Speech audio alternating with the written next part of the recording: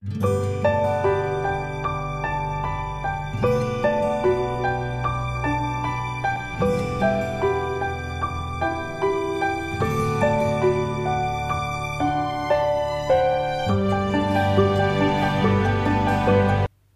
ยวกินกาแฟกินข้าวเสร็จแล้วนะคะ จะไปเปิดร้านคนเดียวนะคะวันก่อนก็วันแรกเปิดแล้ว เปิดอี ข้างหน้าร้านน่ะมันจะมีลูกกงใช่ไหมคะ ติดไว้แล้วก็ล็อกกุญแจ เปิดด้านเดียว เมื่อวานเนี่ย กล้านะคะ กล้ามากเปิดสองอันนะคะ ก็คือเหล็กอีกอันนึงมันหนักมาก เปิดได้นะคะ แล้วก็วันนี้ก็จะไปเปิด เพราะว่าอยากไปอยู่ที่ร้านเช้าหน่อยนะคะ วันนี้ วันนี้ตื่นไม่สายก็เลยจะไปตรงนั้นเช้าหน่อยนะคะ เดี๋ยวไปดูว่าเปิดร้านเปิดยังไงนะคะ สิบนาทีจะสิบโมงนะคะ วันนี้มาเปิดร้านคนเดียวนะคะมีความบรรลุนบรรจุนนะเจ้า ความบรรลุนบรรจุนก็คือว่า วันนี้ดิฉันหอบของมาเต็มไม้เต็มมือนะคะ มีทั้งโอ้เห็นไหม น้ำสามี เยอะแยะมากมาย วันนี้หอบของมามากมายนะคะ มาถึงร้านแล้ว ขั้นแรกก็จะต้องมาเปิด ไอ้กล้องวงจรปิดก่อนนะคะ เปิดยังอะเปิดแล้ว แล้วเดี๋ยวก็จะไปเปิดไฟนะคะ เปิดไฟที่ร้าน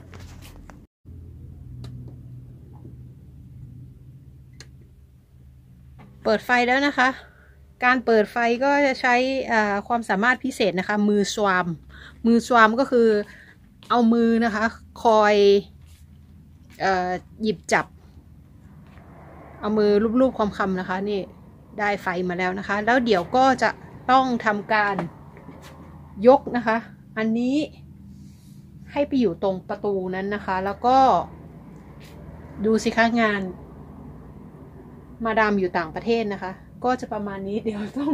ยกเหล็กอันโน้นนะคะ ให้ไปอยู่ตรงประตูตรงนั้นค่ะ เดี๋ยวจะทำให้ดูนะคะ วันนี้มาเปิดร้านให้ดูค่ะ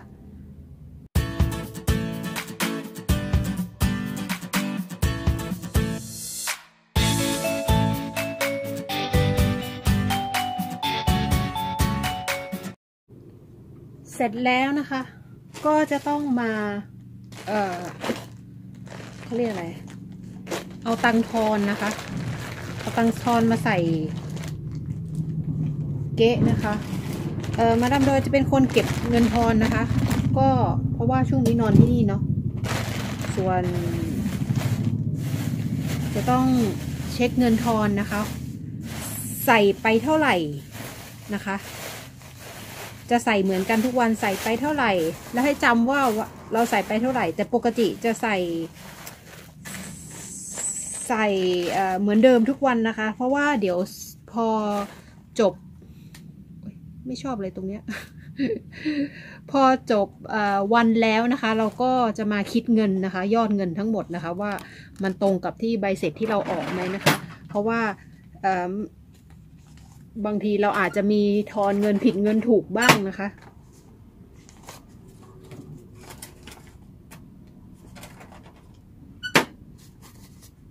ก็เอาเงินใส่ไปนะคะ เราก็ไม่ต้องโชว์เงินโชว์ทองเนาะ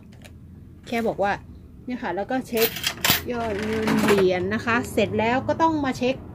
กระดาษเครื่องคิดเลข เอ้ย กระดาษเครื่องออกเงินสดนะคะว่ากระดาษเขาอะ มีพอไหมนะคะ บางทีช่วงที่เรายุ่งๆเรา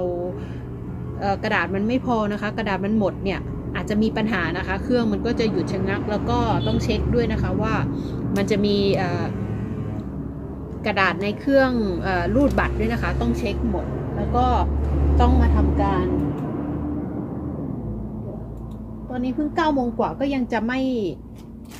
ก็ยังจะไม่เล็กพอร์ตไอ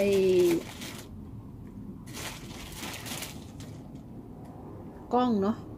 แล้วก็เดี๋ยวเสร็จแล้วก็ต้องกวาดบ้าเอ้ยกวาดร้านแล้วก็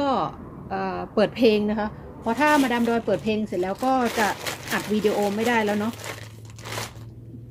อันนี้จัดของเรียบร้อยแล้วอ้อแล้วก็เดี๋ยวจะขอตัวไปเปิด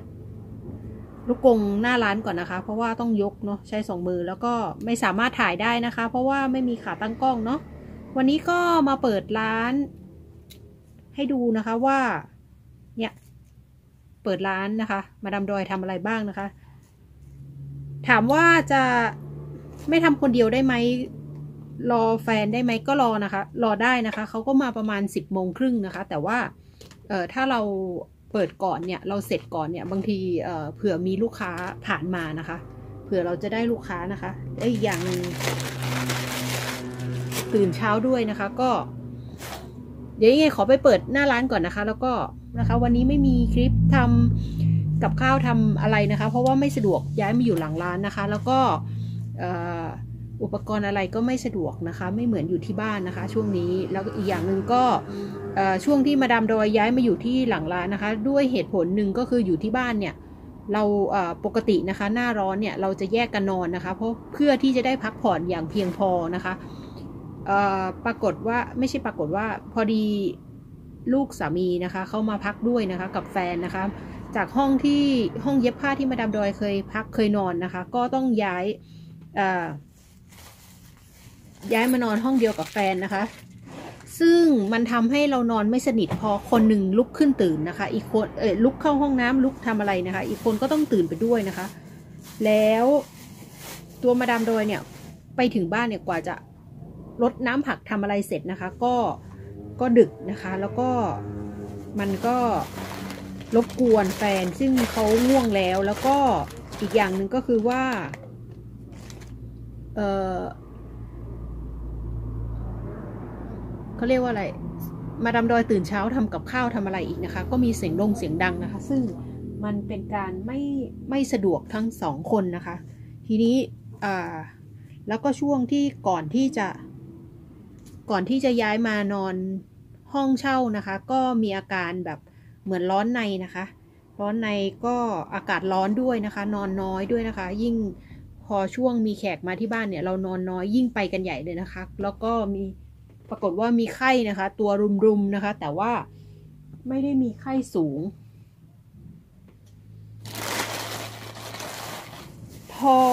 มาอยู่ที่ที่หลังร้านนะคะ ได้นอนพักผ่อนเพียงพอแล้วก็นอนพักผ่อนเพียงพอแล้วก็ทานยานะคะ แล้วก็รู้สึกว่าดีขึ้นนะคะ ตอนนี้ดีขึ้น แล้วเนี่ยมานอนที่ลาหลังร้านนะคะ ดูสิคะยุงกัด เนี่ยรอยยุงกัด ยุงกัดแล้วก็เจ็บด้วยนะคะ อันนี้ก็ยุงกัด คือขาเขอนี่คือนอนคืนแรกเราคิดว่าไม่มียุงเลยค่ะปรากฏว่ายุง ตื่นขึ้นมามีรอยยุงกัดประมาณสิบอันนะคะสิบอันแล้วทีนี้ นี่ก็ยังกลัวอยู่เอาไม่ได้เป็นไข้หวัด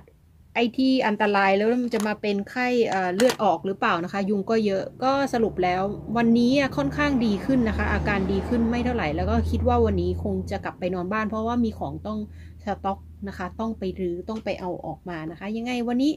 ขอลาไปก่อนค่ะ โอ้โห นาทีนานมากแล้วพูดเมามอยหอยสัง เกือบไปแล้วเกือบหกนาทีเลยนะคะ ยังไงวันนี้มาดามดอยขอลาไปก่อนนะคะ ขอบคุณค่ะ ขอบคุณทุกทุกการติดตามและรับชมนะคะ บ๊ายบาย